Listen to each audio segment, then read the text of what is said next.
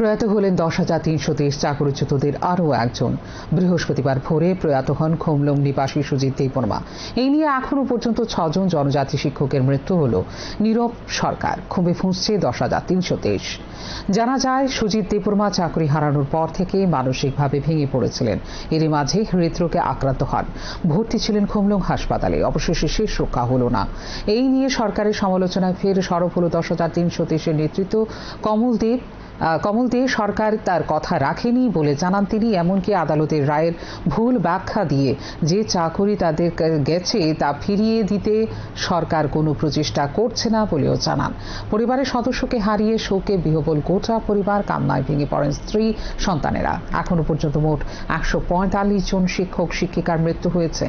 এদের মধ্যে ছজন জনজাতি অংশের মানুষ। তাদের ভবিষ্যৎ কোন পথে? এই নিয়ে দিশাহারা দশ হাজার তিনশো শিক্ষক সমাজ।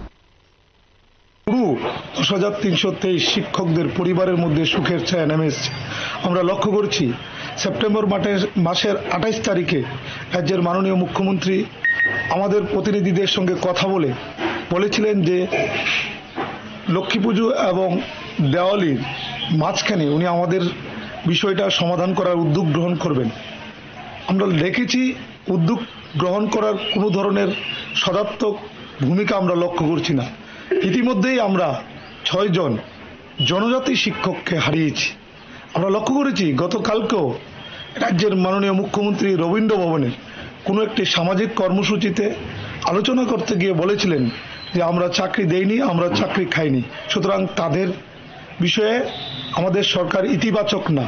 আমরা যখন থেকে দেখছি মুখ্যমন্ত্রী ওই ওই দিন কুমারঘাটে বলেছিলেন, কিছু তিন চার দিন আগে আনন্দনগর বলেছিলেন, মুখ্যমন্ত্রীর এই বক্তব্যর পর থেকে আমরা দেখছি এক একজন শিক্ষক হতাশায় টেনশনে মারা যাচ্ছেন।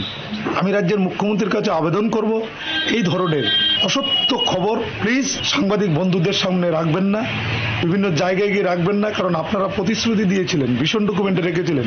যদি আপনারা জানতেন যে সুপ্রিম কোর্ট অবৈধভাবে তাদের চাকরি বাতিল করে দিয়েছে, তাহলে আমার প্রশ্ন, আমাদের প্রশ্ন, তাহলে কেন আপনারা জেনেও ভীষণ ডকুমেন্টে রেখেছিলেন? আপনি তো বলেছিলেন, যদি কোনো স্কোপ থাকে আপনি সেই স্কোপটা ইউজ করবেন। এখন তো দুধ কা দুধ, পানি কা পানির পরিষ্কার হয়ে গেছে। সুপ্রিম কোর্ট আমাদের আরটিআইয়ের মাধ্যমে বলেছে, আমরা পার্টি না। আমরা মুখ্যমন্ত্রীর বক্তব্যর সত্যিই আমরা অপ্রত্যাশিত।